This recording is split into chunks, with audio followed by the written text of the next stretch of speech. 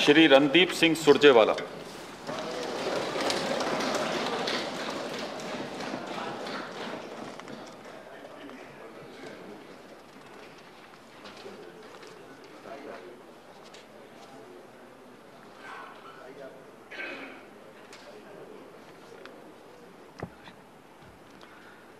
मैं रणदीप सिंह सुरजेवाला जो राज्यसभा का सदस्य निर्वाचित हुआ हूँ, ईश्वर की शपथ लेता हूँ कि मैं विधि द्वारा स्थापित, भारत के संविधान के प्रति सच्ची श्रद्धा और निष्ठा रखूँगा।